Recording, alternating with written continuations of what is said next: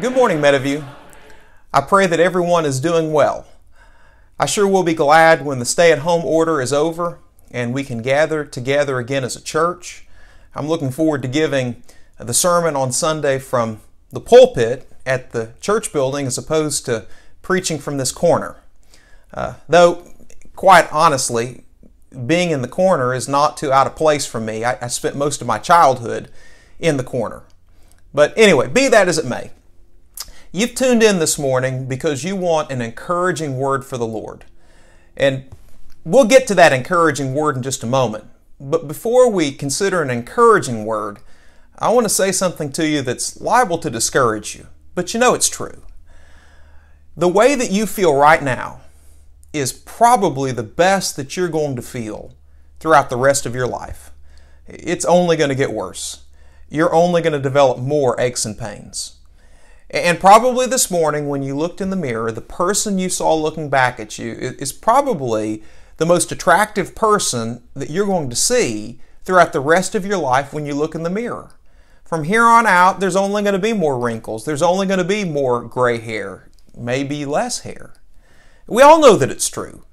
That's what we're experiencing. Now, if you're, say, under the age of 30, for now, you can disregard what I've said. But if the Lord blesses you with enough life, you're going to realize the truth of it. We wear out in this world.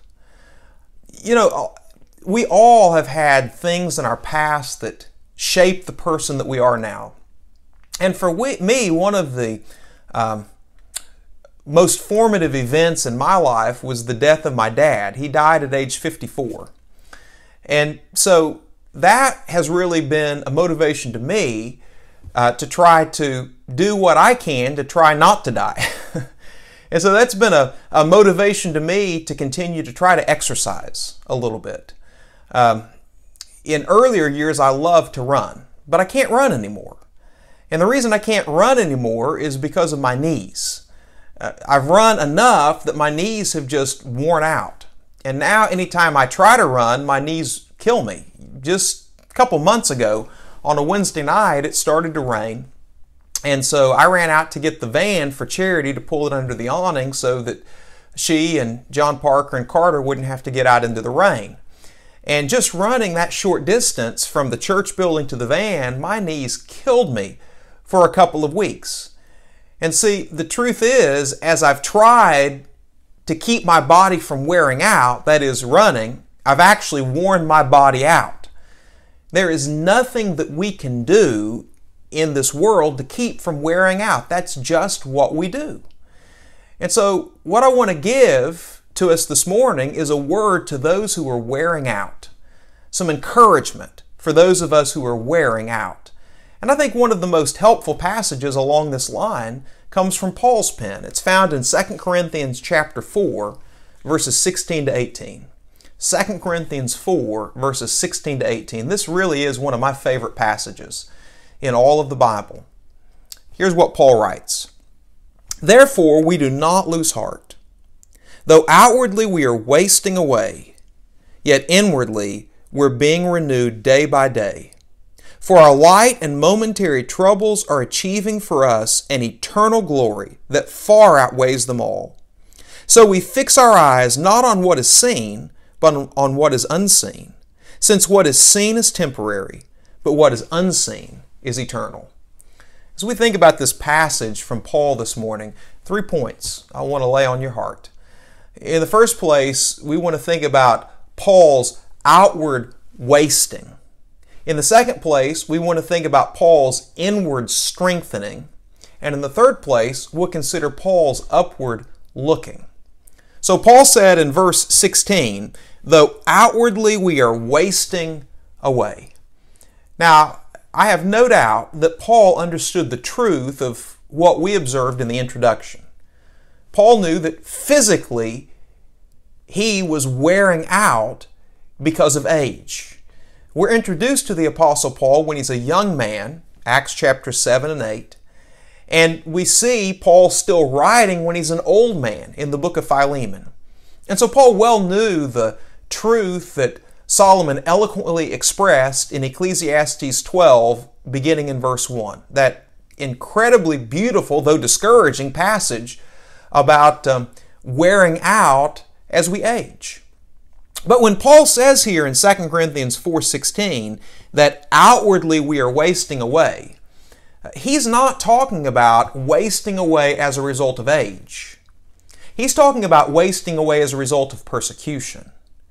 If we'd begun reading 2 Corinthians from the beginning, we would have seen in verse 10 that Paul said, We always carry around in our body the death of Jesus. And Paul there is talking about suffering as a result of persecution. Uh, Second Corinthians is one of my favorite books in the New Testament because it is Paul's most autobiographical book. There are so many incredible truths about Paul's life that we wouldn't know if we didn't have Second Corinthians. And you know well, I'm sure, that in 2 Corinthians 11, Paul gives uh, the most detailed list of his sufferings. And so, if you will, turn with me to 2 Corinthians 11. And let's notice some things that Paul went through that led to what he says in chapter 4, verse 16 his outward wasting away. Now, we could begin reading a little bit earlier, but let's start in verse 23 of 2 Corinthians 11. Paul asks concerning these false apostles in Corinth who were casting aspersions on him, and so they forced him to defend his own apostleship. And he does so not by bragging about his spiritual privileges, but by talking about the sufferings that he had endured for the cause of the gospel. And so Paul asks, Are they servants of Christ? I'm out of my mind to talk like this. I am more. I've worked much harder, been in prison more frequently, been flogged more severely, and been exposed to death again and again. Five times I received from the Jews the forty lashes minus one. Three times I was beaten with rods. Once I was pelted with stones. Three times I was shipwrecked. I've spent a night and a day in the deep. I've been constantly on the move. I've been in danger from rivers, in danger from bandits, in danger from my fellow Jews, in danger from Gentiles, in danger in the city, in danger in the country, in danger at sea, and in danger from false believers. I've labored and toiled and have often gone without sleep. I've known hunger and thirst and have often gone without food. I've been cold and naked. Besides everything else, I face daily the pressure of my concern for all the churches. Who is weak, and I do not feel weak? Who is led into sin, and I do not inwardly burn? If I must boast, I will boast of the things that show my weakness. The God and Father of the Lord Jesus, who is to be praised forever, knows that I'm not lying. In Damascus, the governor under King Aretas had the city of the Damascenes guarded in order to arrest me. But I was lowered in a basket from a window in a wall and slip through their hands. Now, those who are familiar with the life of Paul realize that this is not a complete list of Paul's sufferings. It's not as though he wrote this and then his sufferings were over and he went on to live the rest of his life in ease. Paul actually wrote 2 Corinthians from the standpoint of the book of Acts in about Acts 20, verses 1 and 2. He wrote it from Macedonia. And so all the sufferings that Paul experienced in the book of Acts from chapter 20, verse 3 on through the end of the book could be added to this list. You know, Paul says, for instance, that he's often uh, imprisoned. Well, this list does not include the two years that he was imprisoned in Caesarea and the two years that he was imprisoned in Rome. He mentions here in Acts 11 that three times he suffered shipwreck. Well, this doesn't include the horrendous shipwreck that he experienced in Acts chapter 27. He talks about being in danger among his fellow Jews. Well, this doesn't include the riot that the Jews stirred up in Jerusalem in Acts chapter 21. And so, so Paul suffered a lot more than this list. But these are the things that led Paul to say in 2 Corinthians 4:16 that outwardly he was wasting away. One passage that I find very interesting is at the conclusion of the book of Galatians. You know, Galatians is very similar to Second Corinthians in that Paul is being attacked by some uh, false uh, preachers, and he's forced to defend himself and defend the true gospel. And so he writes at the end of the book of Galatians, chapter 6 and verse 17, this word From now on, let no one cause me trouble, for I bear on my body the marks of Jesus. You know, we're living in an age where tattoos have become really popular. And so many people have uh, things tattooed on their body with the ink of a tattoo artist. Well, the Apostle Paul had his body marked up. Not with the ink of a tattoo artist. Paul did not have, for instance, you know, JC on his bicep. But the Apostle Paul did have on his body the marks that showed that he belonged to Jesus Christ. If you could look at Paul's body without his tunic on, you probably would be shocked at what you see. Because Paul would have on his body scars from all the times that he'd received those uh, 40 lashes minus one from the Jews and all the times that he'd been flogged. Keep in mind that when the Apostle Paul was stoned, he didn't have someone to set the bones after they'd been broken. You know, that's what happens when a person is stoned.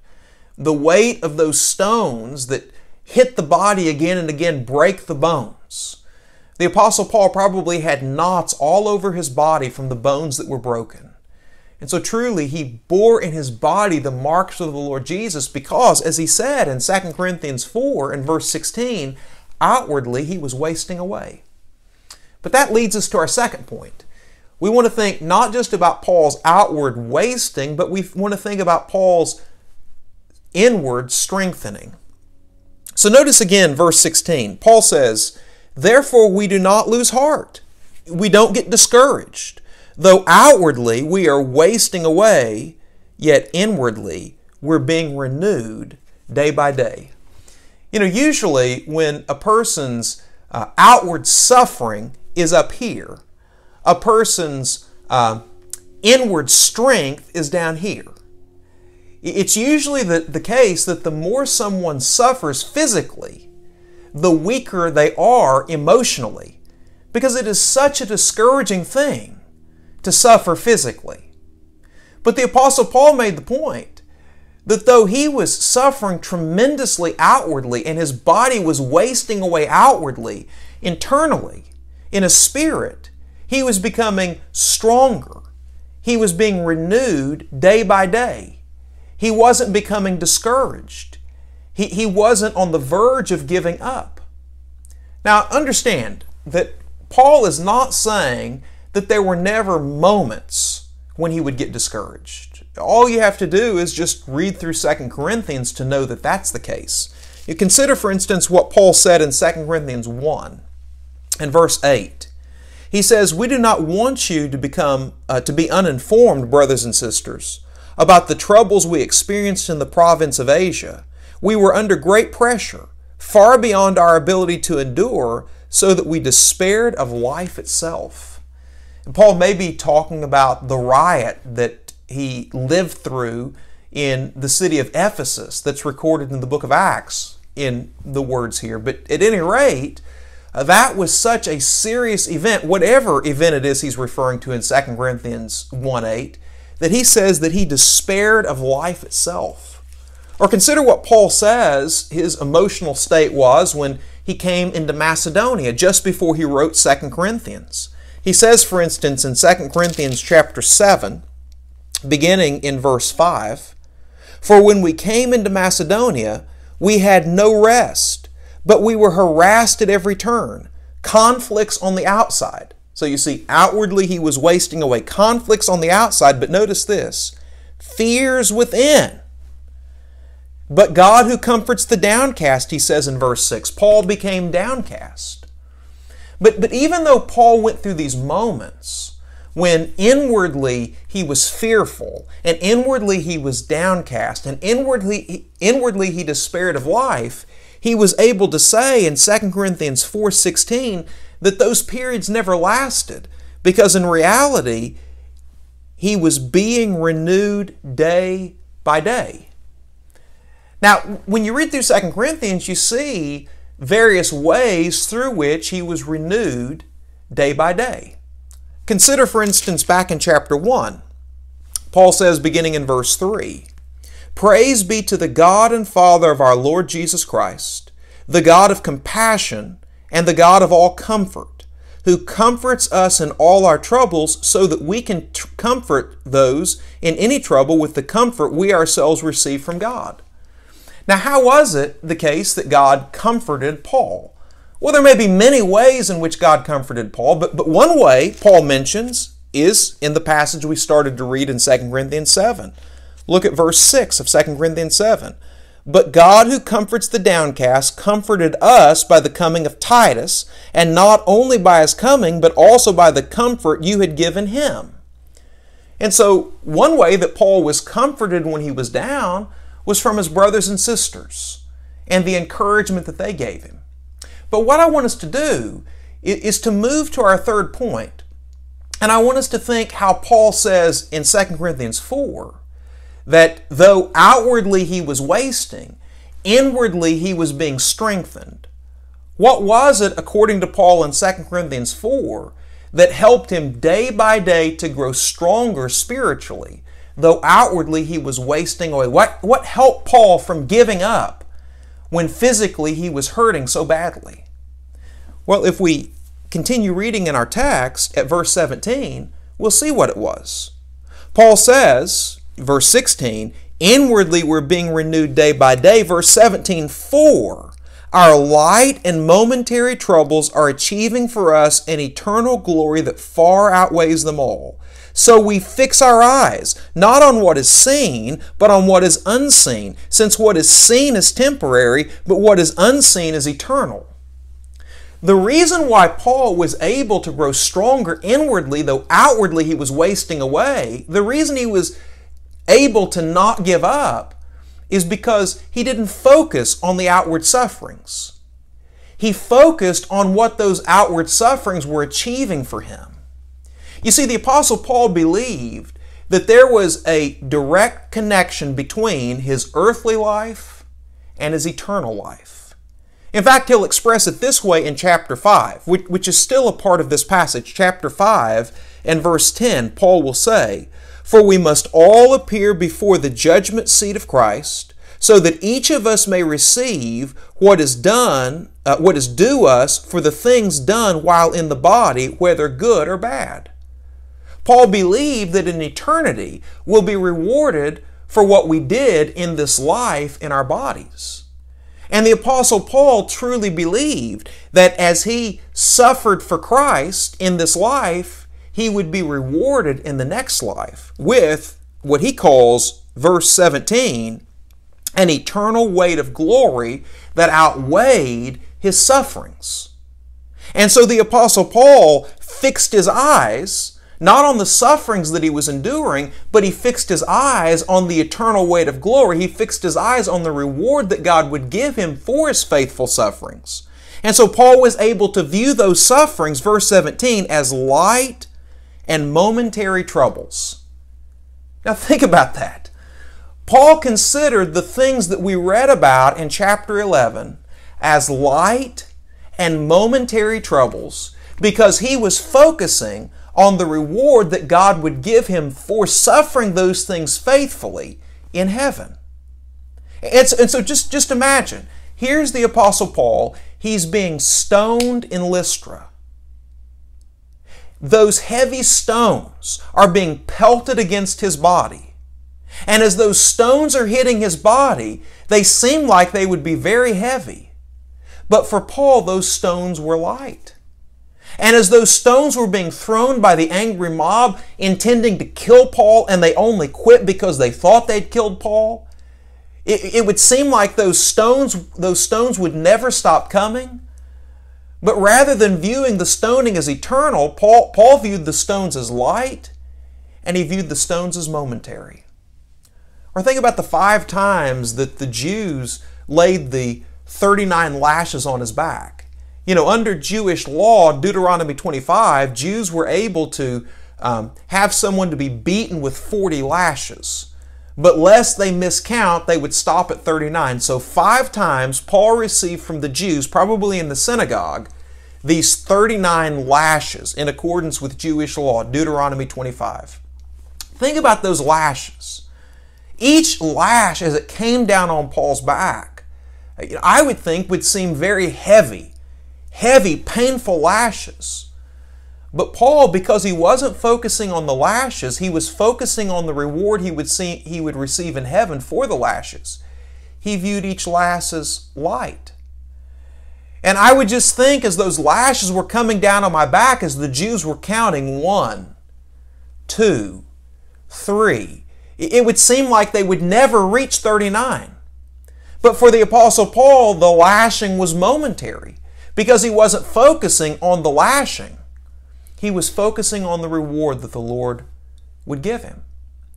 And you know, as we think about the glory that we'll receive in the world to come, there certainly is the glory of being in that heavenly place that's described in a passage like Revelation 21 and 22.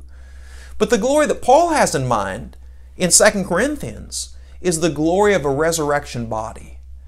Let me read for 2 Corinthians 5. And, and, and the reason why I'm preaching this this Sunday is because last Sunday we thought about the resurrection of Jesus Christ. And it's the resurrection of Jesus Christ that makes our own resurrection possible, that will make our own glorified bodies possible. And so consider what Paul says beginning in 2 Corinthians 5, verse 1. He says, For we know that if the earthly tent we live in is destroyed, we have a building from God, an eternal house in heaven, not built by human hands. Meanwhile, we groan, longing to be clothed instead with our heavenly dwelling, because when we are clothed, we will not be found naked. For while we are in this tent, we groan and are burdened, because we do not wish to be unclothed, but to be clothed instead with our heavenly dwelling so that what is mortal may be swallowed up by life. Now, the one who fashioned us for this very purpose is God, who's given us the Spirit as a deposit, guaranteeing what is to come. Therefore, we are always confident and know that as long as we are at home in this body, we are away from the Lord, for we live by faith and not by sight. We are confident, I say, and would prefer to be away from the body and to be at home with the Lord. So we make it our goal to please Him whether we are at home in the body or away from it. For we must all appear before the judgment seat of Christ, so that each of us may receive what is due us for the things done while in the body, whether good or bad. You see, Paul describes three possible states that a child of God could be in. He describes a point in time when, in verse 1, we're at home in this earthly tent. And then he describes another time when we are unclothed. That is, we die. Our spirits are unclothed. Our spirits are not in our bodies. And then he describes another time when we are clothed with our dwelling which is from heaven. And that's talking about the, the glorified resurrection body. You see, Paul says in verses 6 through 8 that while we're in the body, we're away from the Lord. And he has a desire, he says it's better to be away from the body and at home with the Lord. He's talking about the intermediate state after death, between death and resurrection, when our spirits are away from our bodies, but our spirits are with the Lord. But the best condition yet is to have this heavenly dwelling, this glorified resurrection body, and to be with the Lord. And that's the condition that we'll all be in when Jesus Christ comes again. And so here's the thing if we'll be like Paul, and even though our bodies are wearing out, even though outwardly we're getting weaker and weaker, even though on a daily basis we're experiencing more and more pain, even when we look in the mirror, we don't have the beauty that we had in youth. If we will keep our eyes fixed, not on the sufferings of the here and the now, but if we keep our eyes fixed on the reward that He will give us, if we will, because of that focus, view our sufferings not as burdensome, but as light and as momentary, and will be faithful and we won't give up, then the time will come at Jesus' coming when we'll receive this glorified body from heaven. And in this glorified body from heaven, we'll receive a glory that far outweighs any of the sufferings that we experienced. I love the way that Jesus described our condition in heaven in Matthew chapter 13 and at verse 43. He said, Then the righteous will shine like the sun in the kingdom of their Father. Isn't that a great thought? The time's coming when, ladies, you won't need makeup anymore. You won't need a hairdresser. You know, guys, you won't have to worry because, um, you know, hair's falling out or hair's becoming gray or more wrinkles are coming up or, or whatever. We'll all shine like the sun because of that eternal weight of glory that God will give us in our resurrection bodies. And so let's all remain faithful to the end. Let's pray. Gracious Father, thank you so much for the wonderful power of the gospel, the power that's made possible through Jesus' resurrection, that the time's coming when if we will faithfully endure the burdens of this life, you'll give us in our resurrection bodies a glory that far exceeds them all. Lord, we're weak. We all have the tendency to become weaker spiritually as we become weaker physically, but Lord, help us. Though our outward bodies are wasting away, help us to become stronger spiritually day by day. Bless us all with the grace that we need to be faithful to you in this life. Forgive us. In Jesus' precious name we pray. Amen. We thank you for taking the time to worship with us and to study a portion of God's Word. We pray that this has been an edifying experience and that you would join us again. Now, if at any point during the lesson you had some questions, please feel free to email us at mhisaw at meadowview.org. The email is both on the screen and in the description below. It is our goal to answer every Bible question with a Bible answer, to speak where the Bible speaks, and to be silent where it is silent. God bless you. We love you.